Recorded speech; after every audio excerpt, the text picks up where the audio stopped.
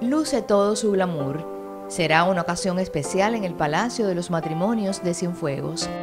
Esto siempre fue un sueño, pero era algo, algo imposible aquí.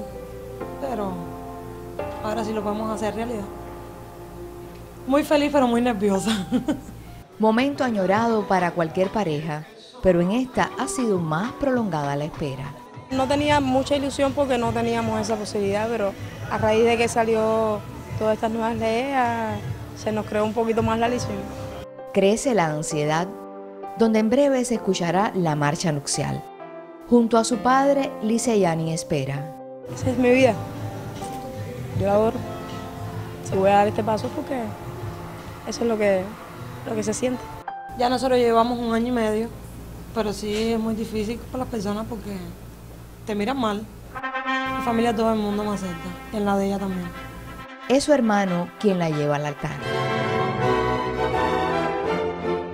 Nosotros somos felices así y están todas las personas que damos al lado mío. Procedo a dar lectura a los artículos del Código de Familia. Tenemos un niño, estamos bien, podemos cumplir nuestros sueños y, y sí nos protegen en todo.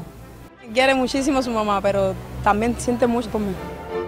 Ambos tienen la corresponsabilidad de cuidar la familia que han creado. ¿Acepta usted como su pareja a Cintia Cueto Estopiñales?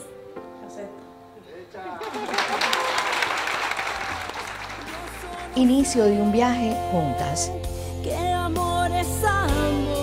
Derecho otorgado por un código que las pensó ante la sociedad iguales para amar, no diferentes.